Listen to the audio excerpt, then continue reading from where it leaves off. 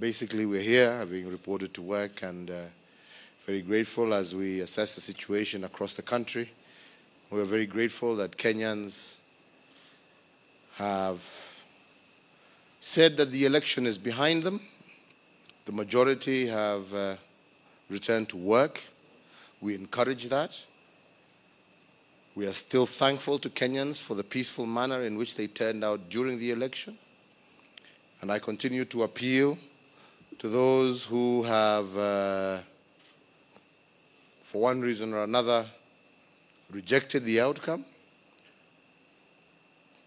to go by the principle and the word that I said that at the end of the day, we're all Kenyans. We don't need to fight one another. We don't need to destroy each other's property. We don't need to take life.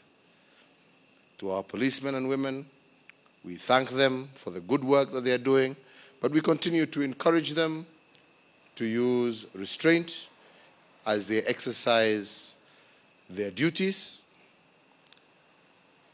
To our friends who have yet to accept the outcome, we continue to appeal to them that we have extended our arm and a hand of peace and a hand of friendship, and for them to use whatever legal mechanisms that have been created by our wonderful Constitution to express their dissatisfaction.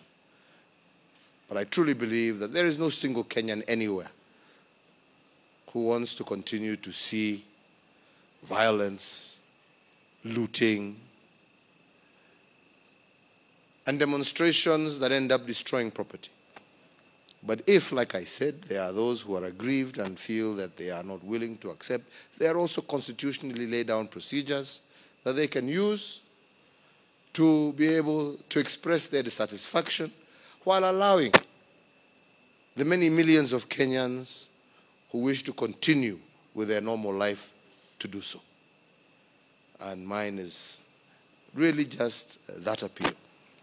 And the police are willing and ready. Say you want to have a demonstration in this place at this time, organize it with the police. You don't need my, my permission or Jubilee's permission. It's there in the law. Just do it peacefully, orderly. Don't interrupt the lives of other Kenyans and express your view. That is allowed, and nobody has a problem. But as a government, we will not allow loss of life, destruction of property, and looting because many, many millions of Kenyans also are desirous to go about their business as before. So really, we are just here reviewing issues. We've had an opportunity also to have a, a, session with the Assumption of Office Committee, and they've given us their briefing.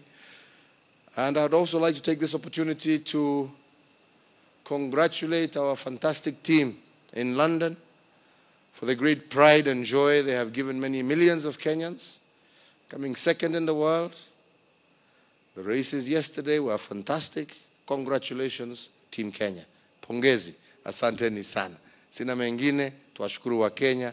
Turudi kazini, tuwe pamoja, tuwe na amani, tuendeleze taifa letu la Kenya pamoja. Asanteni sana.